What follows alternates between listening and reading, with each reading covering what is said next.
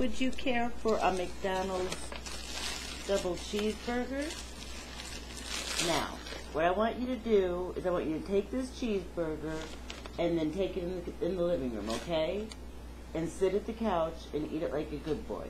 See ya. Yep, yep, yep. I have another one for you.